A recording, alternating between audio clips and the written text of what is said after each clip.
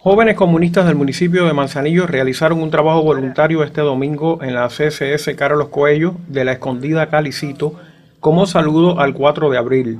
La siembra de rejos de boniato ocupó la mañana de los allí presentes, guiados por el destacado cooperativista Albeniz Larayero, quien les enseñó cómo se cortan las ramas y luego se colocan en los surcos. Estas acciones respondieron al programa de soberanía alimentaria y nutricional para abastecer a los mercados agropecuarios manzanilleros de las viandas que tanto demandan los pobladores en estos momentos. En la finca crecen también el maíz en tres hectáreas y otra caballería de boniato. Además, se fomenta el cultivo de plantaciones de ciclos cortos para los meses de julio y agosto. Reinier Beltrán Sánchez, primer secretario del partido en el territorio, participó junto a los jóvenes comunistas en el trabajo voluntario acaecido en la escondida.